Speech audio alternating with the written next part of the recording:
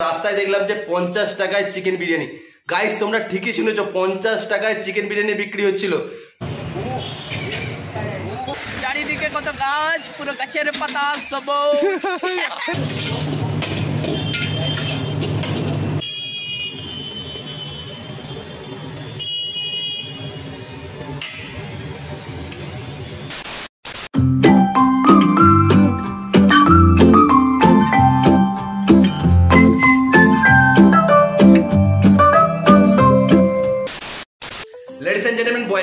Welcome back to my new vlog episode guys আমি জিৎ আর আমার channel নাম অ্যান্ড অর্ণবজিৎ এবং আমার চ্যানেলে তোমাদের সবাইকে স্বাগত।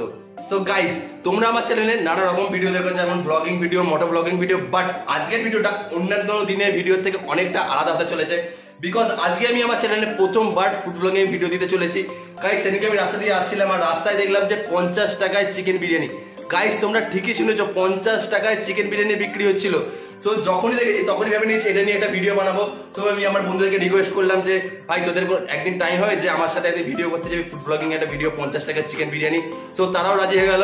সো আজকের ভিডিওটা সেটাই নিয়ে, আর গাইস তোমরা যদি ভেবে থাকো, এই চ্যানেলে কিছু হাইফাই কিছু দেখানো হবে, আউদের বিরিয়ানি আর্সেনালের বিরিয়ানি, তোমরা সম্পূর্ণ ভুল ভাবছ। আমি একটা সাধারণ বাড়ির ছেলে সো আমি যা করব সেটাই তোমাদেরকে দেখাবো। একটু বেশিও না, একটু কমও না। সো গাইস তোমাদেরকে কি করতে হবে? চ্যানেলটা সাবস্ক্রাইব করে নিতে হবে। সাবস্ক্রাইবের পাশে থাকা বেল আইকনটা জোর করে ঢুকিয়ে দিতে হবে। গাইস কি করছ? চ্যানেলটা সাবস্ক্রাইব করে নাও গাইস নয়তো আমি নতুন নতুন ভিডিও করার ইন্সপিরেশন কোথা থেকে পাবো? যাই হোক চ্যানেলটা সাবস্ক্রাইব করো, এক্ষুনি করো, আমি ওয়েট করছি। গাইস আমি অনেক ভাট বকে ফেলেছি, চলো, এবার তাহলে বেরিয়ে পড়া যাক। আমার বন্ধুরা অনেকক্ষণ ধরে ফোন করছে। সো গাইজ আমরা ফাইনালি বেরিয়ে পড়েছি। আর আমি ফার্স্ট টাইম আমার চ্যানেলে ফুড ব্লগিং করছি সো একটু তো টেনশন হচ্ছেই। সো দেখা যাক আজকে ভিডিওটা কেমন হয়। আর তোমরা ভিডিওটা কন্টিনিউ করো। আর এখান থেকে আমরা যাব প্রথমে ডুমুরজোলা স্টেডিয়াম, ওখানে গিয়ে সবাই মিট আপ করব। তারপরে আমরা আমাদের খাবার জায়গায় যাব। তো গাইজ আমরা ফাইনালি চলে এসেছি ডুমুরজোলা স্টেডিয়াম। আর এখান থেকে আর কিছুক্ষণের মধ্যে চলে যাব আমাদের চ্যাটার্জি হাট আর ওখানেই হচ্ছে আমাদের খাওয়ার জায়গাটা, যেখানে হচ্ছে পঞ্চাশ টাকায় চিকেন বিরিয়ানি পাওয়া যায়। সো আমার একটা বন্ধু চলে এসছে, আর ওখানেও অনেকগুলো বন্ধু দাঁড়িয়ে আছে। সো তারা সবাই যাবে না বাট কিছু কিছু যেন যাবে।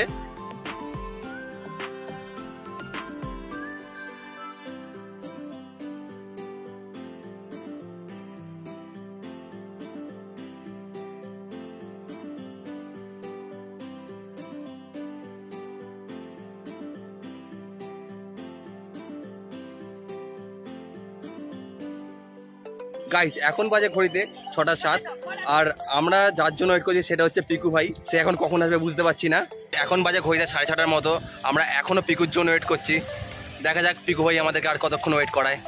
আসবে কিনা সন্দেহ আছে? রুকো যারা সবার করো। চারিদিকে কত গাছ পুরো গাছের পাতা সব।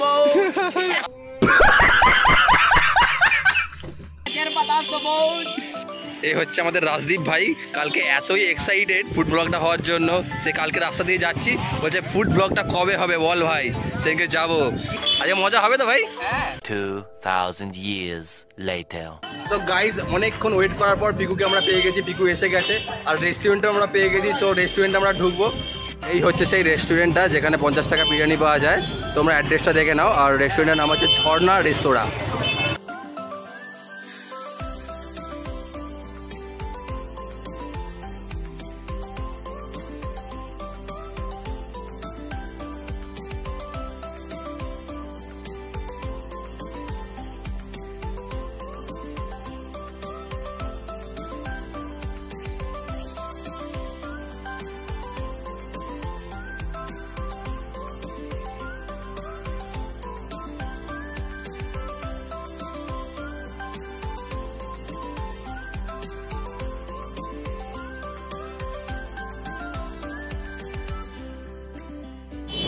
গাইজ আমরা এখন এখানে চলে এসেছি রেস্টুরেন্টের ভেতর, আর পিকু, যা লেট করেছে ভাই।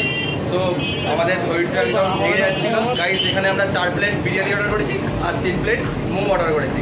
সো দেখা যাক টেস্ট কেমন থাকে, আর সেটা তোমাদেরকে অনেক রিভিউ দিয়ে দেবো। গাইজ তোমরা একটু ঝর্ণা রেস্তোরাঁর মেনু কার্ডটাতে চোখ বুলিয়ে নাও।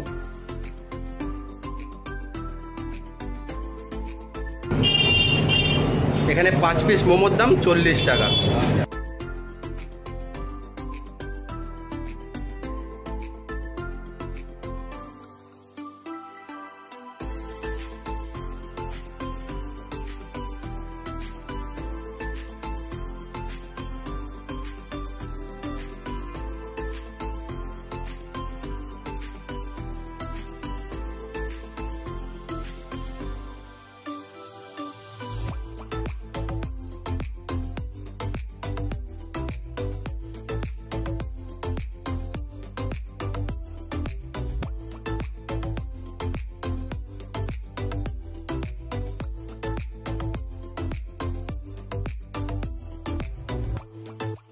আর এখানে খেতে এলে একটা তোমাদের প্রবলেম ফেস করতে হবে যে ওখানে ভেতরে বসে খাবার কোনো পজিশন নেই সো তোমাদেরকে বাইরে দাঁড়িয়ে দাঁড়িয়ে খেতে হবে।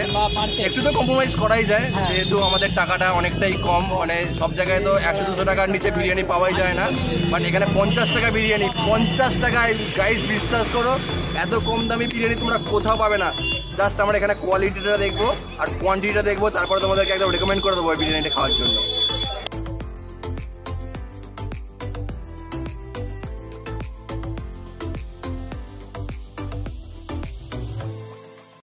कैसा लगा मेरा मज़ाक?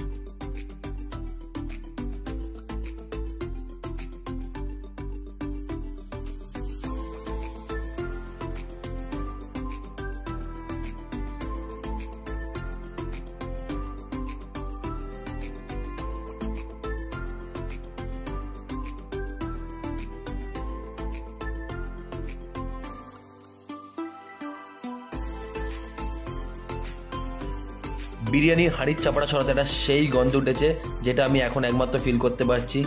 আহ, মনটা পুরো জুড়িয়ে গেল গাইস আর আমার যে খিদেটা পেয়েছিল, তার ডবল খিদে এখন পেয়ে গেছে।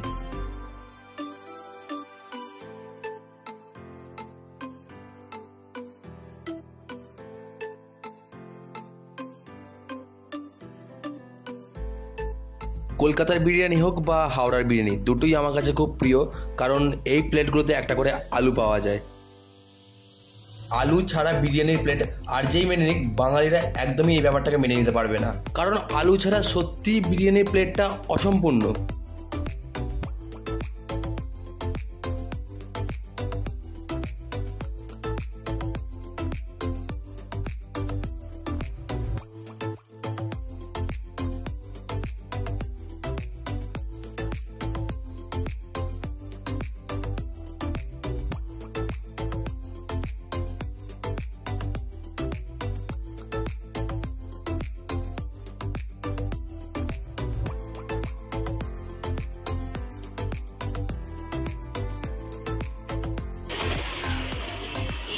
খুবই ভালো টেস্টটা আর আলু দিয়েছে। সেখান থেকে হাফ আলু আমি রিকুকে দিয়ে দিয়েছি। আর চিকেনের পিসটা দেখো, অতটা বড় নয় বাট ওয়ার্থ ইট পঞ্চাশ টাকায় একদম এটা ওয়ার্থ ইট আর কোয়ান্টিটিটা অনেকটাই দিয়েছে বলতে গেলে। পেঁয়াজ আছে। তো সব দিক ওভারঅল দেখতে গেলে একদম পঞ্চাশ টাকায় এই বিরিয়ানিটা একদম ওয়ার্থ ইট তোমরা আসতে পারো, খেতে পারো। আর কোয়ালিটি খুবই ভালো। আর চিকেনটা দেখো, খুবই নরম। একদম টানলেই ভেঙে যাচ্ছে। আর আলুটাও তোমাদেরকে দেখাই।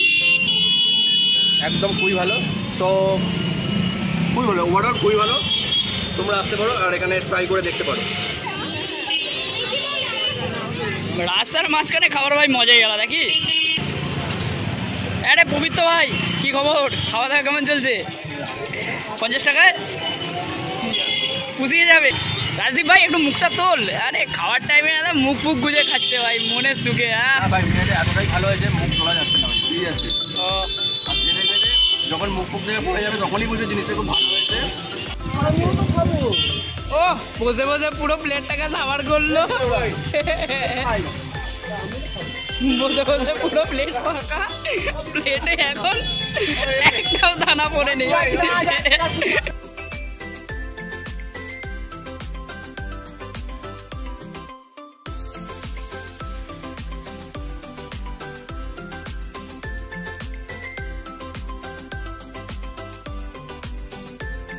সো গাইজ আমাদের বিরিয়ানি খাওয়া হয়ে গেছে আর আমাদের টাকাও পেমেন্ট করা হয়ে গেছে।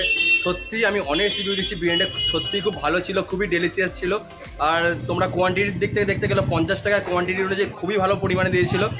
আজকের ভিডিও এই পর্যন্ত ভিডিওটা ভালো লাগলে লাইক করে দিও চ্যানেলটা সাবস্ক্রাইব করে নিও সাবস্ক্রাইবের পাশে বেল বাটনটা আছে, সেটা জোর করে ঢুকে দিও। কি করছ গাইস তাহলে সাবস্ক্রাইব করে নাও। দেখো, এই দাদাটাও আমার চ্যানেলটা সাবস্ক্রাইব করে নিয়েছে। সো গাইস তোমরা সবাই সুস্থ থাকবে, ভালো থাকবে। দেখা হচ্ছে আবার next video tata bye bye